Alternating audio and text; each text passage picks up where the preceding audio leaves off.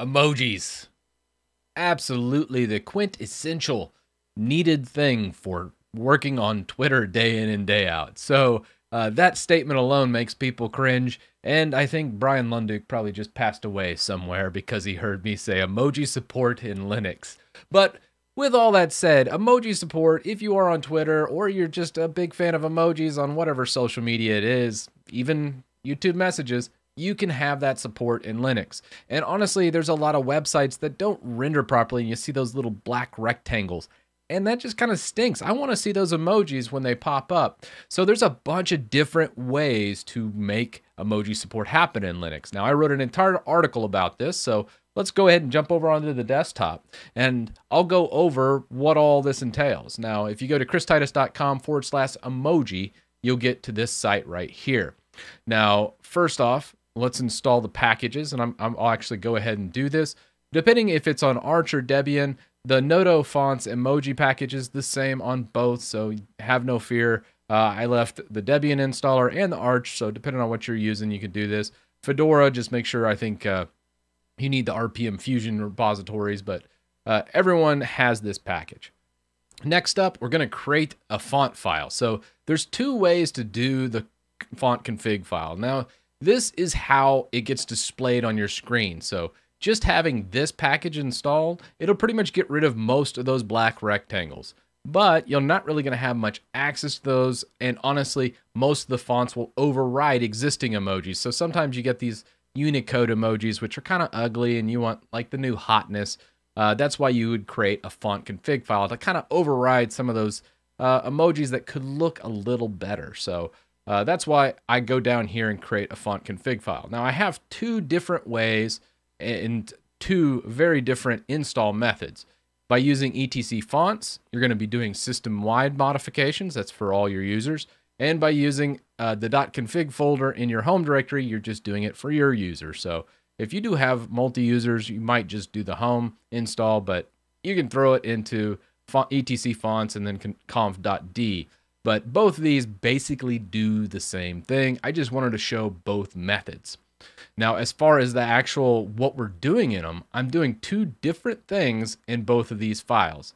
So I want to go ahead and walk through that. This uses Google emojis when it finds an emoji pattern in this font family. So this is a very specific file. It'll go ahead and overwrite just a little bit, and you're not going to see emojis except when this font family is used and it's trying to cull from its emoji. So very cool, but at the same time, on the o2emoji.conf, you'll notice I went ahead and did sans serif, serif, and monospace, which those are really big font families. They're used in terminal, they're used in a lot of places. So this right here would have emojis everywhere. For that 0.001% teenage girls out there that want it everywhere, by all means, there you go. Uh, for that maybe one or two people that watch this video that this would actually be applicable. For most people, you're going to want to stick to this top file and drop it into this directory.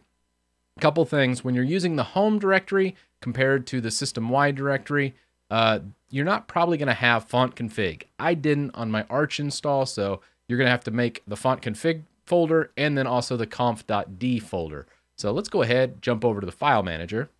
And in the file manager, we'll just go config and look at font config. Now, if you don't have this and you're using Nautilus uh, and you can't get into this directory, just hold Control and press L to go ahead and get it. I went ahead and edited Nautilus so it always displays the full path as that's just kind of eh. And if you want to do that, you can always display the full path by using dconf-editor. That's a nice little package to also have. And then in here, we have our emoji file. So uh, let's go ahead and open that. And for whatever reason, defaulting to the wrong editor. Uh, I got too much stuff installed. But you see, this is actually what I'm using. And let me close this. You'll see that I'm using the minimal install as this is kind of what I recommend. But with that done, I still want a little bit more. I want this to be um, not necessarily everywhere, but I want to be able to utilize these emojis on the fly using um, an emoji picker. So kind of cool. So like, let's say I'm on Twitter and I want to go ahead and copy and paste emojis, but I don't want to look them up and do that. And I don't want to get on my phone. So let's quit this out. And there's another package to install. and that package is simply the emoji keyboard package. And this is actually ibus uni emoji. Now, this package doesn't exist in any repositories that I could find on any system. Um, you could build it from source through Debian. Uh, Salty Horse actually made this, and I left the link on my website here. Um, if you're on Arch, the AUR does have it. It will build the iBus Uni emoji package. And if you're a GNOME user out there, you actually have an extension, and this will take you directly to the GNOME extension. Now, I'm not using GNOME, so it's not going to allow me to install it, but you could actually do that and make a little emoji picker right there in your thing. But uh, for most people, I know there's not a whole lot of GNOME users out there.